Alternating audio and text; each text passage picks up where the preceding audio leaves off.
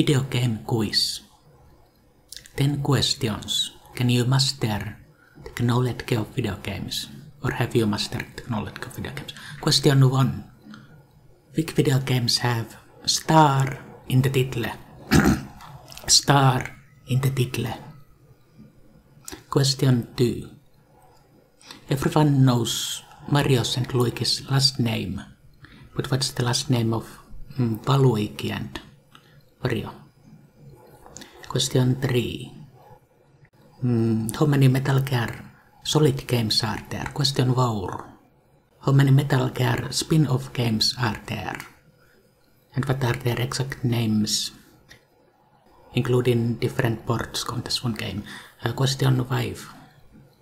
How many characters are there in Suikoden's? I don't mean the recruit players, I mean the characters, including NPCs and randomly encountered monsters and those people and everything. Uh, question 7.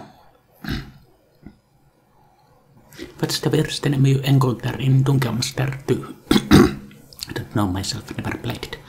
Uh, number 8 question.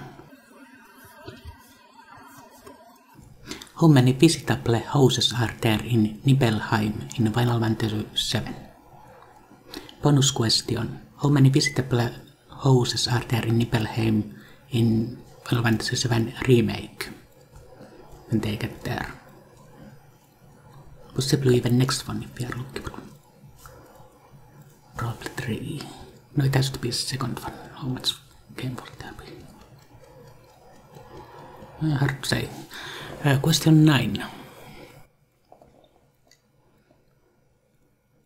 What's the name of Squall's last limit break in Final Fantasy 8 or whatever they were called? Moves. Question 10.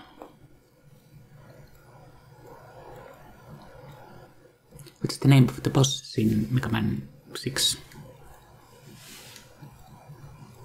Just the normal ones, not the vilkasilla ones, whatever they are. Those